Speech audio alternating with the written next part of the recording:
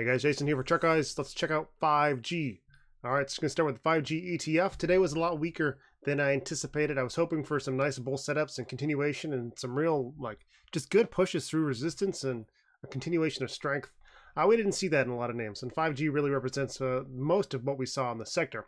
The good part is we did hold higher lows, so we did have some consolidation. I don't think we are very overbought on many time frames, certainly not the daily, 51 RSI, so today's low of day is going to be very, very important tomorrow.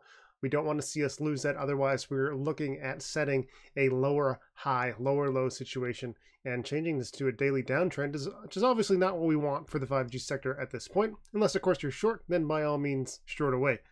I, however, will be looking for bull plays. So we need to hold 2483 on the 5G ETF to have a hope for continuation of the upside on probably the four hour time frame. But that is what we're looking at now. And uh, today's high day is also going to be important. $25 psychological will be the level to watch. Beyond that, our standard daily resistance levels, four hour time frame. Here's this a little bit of consolidation. So now we need to determine, are we in a four hour downtrend, setting these lower highs, lower lows, and have we just set a lower high against 25 psych, or are we going to see this turn around on the 15 and hourly and get it high over 25 to change that subtrend? So it's really a critical moment for the bulls to decide what they're going to do at this point. Failure to hold yesterday's low of day or today's low of day, uh, rather, will see us continuing to the downside, continuing this four hour trend.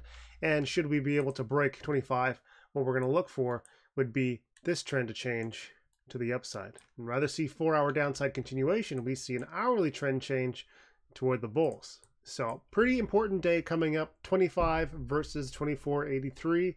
Uh, pretty much a lackluster day on the ETF overall. Just a lot of sideways trading, not a lot of information here.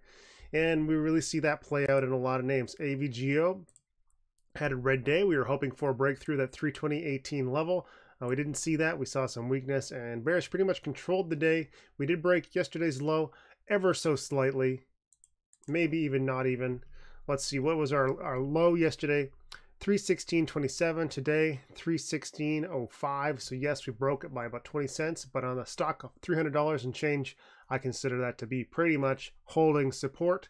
We need to see what happens tomorrow. If we open above this level tomorrow we have a hope for upside continuation.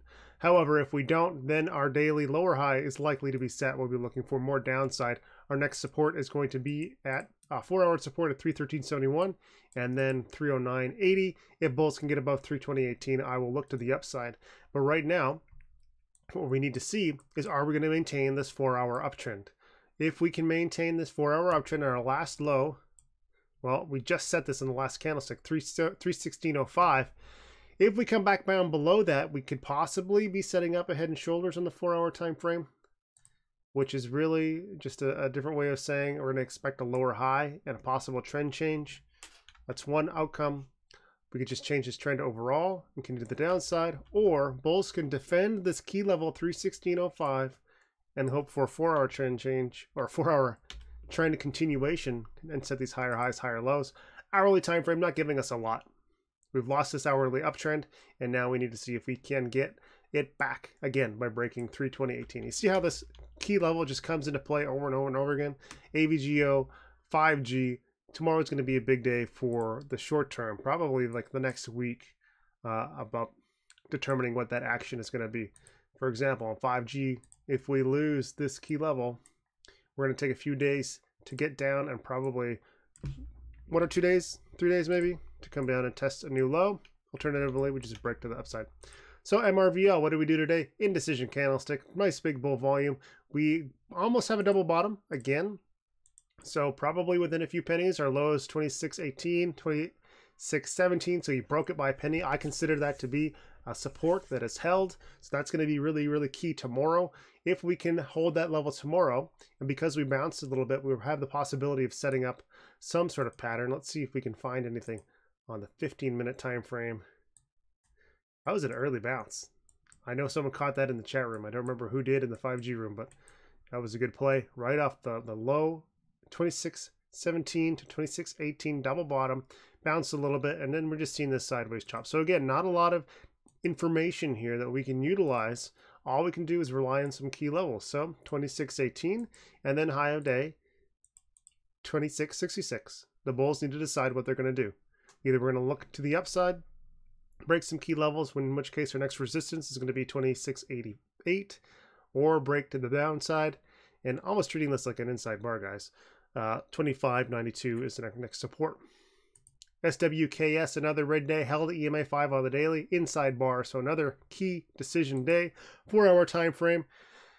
Slight uptrend, but really hasn't proven itself. So here's our four hour downtrend. Here we've changed, we've set a higher high, but we haven't established a higher low. So this is what we're trying to do at this point. If bulls can show up and prove that this is a low by defending 98.78 tomorrow and continue to new highs, that's going to be a four hour trend change. And on the hourly level, we are looking to negate this bear flag by doing exactly that. One, two, three. I can handle three periods down here, but we are now uh, approaching six, or we should say we are in our sixth period.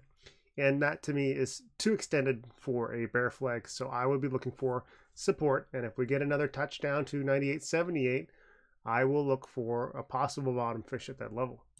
INSG, this was the interesting play today. So we had big strength yesterday, bigger volume today, indecision candlestick with a lot of volatility. So we're going to be getting close to overextended. We're very close on the daily, on the four hour time frame. We've just cooled off thanks to this little uh, higher low on the four hour, which we are going to put down at 546. And on the hourly time frame, we can actually see that coming into play. Double bottom, nice little bounce. And uh, we need to see more consolidation, I think, on the four hour time frame we're, we're still we're just right back above 70 and uh, i would like us to see this carry out in an hourly equilibrium or something to that effect just let these rsis get a little bit healthier insg did have a nice trade today we had a nice little wedge here that built up pretty nicely and let's just go draw that out real quick it was something like this guy where we just were focusing on these green candlesticks this tightening range broke above it and then we just rode that for the rest of the day that was pretty much the only thing that I saw on on uh, the 5G sector. I did miss that drop, uh, I believe, on uh, MRVL that was called out. ADI, last one. Big earnings play yesterday. A lot of volume. It was kind of a bit of a fake out, too, because we opened low. And then bulls just picked up steam right into the end of the day. Big volume at the end with those shares settling down.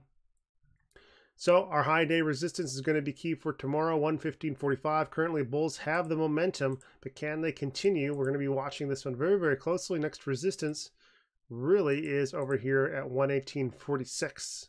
So should we get up there, we're going to be pretty extended. and Need some consolidation on multiple time frames. Four hours, getting close, 67.70.